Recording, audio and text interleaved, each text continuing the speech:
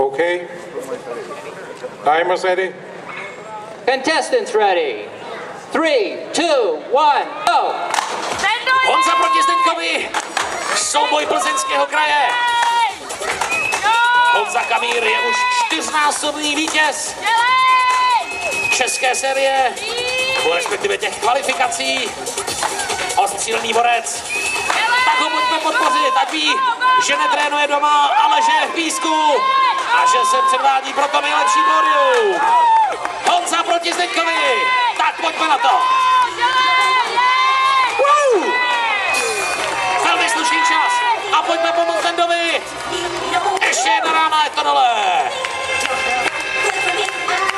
Rekordy sice nepadly, ale myslím si, že vidíme velmi slušné výkony. Už jsem zmínil, že kluci často trénují spolu, pomáhají si. Oba jsou to dřevorubci, oba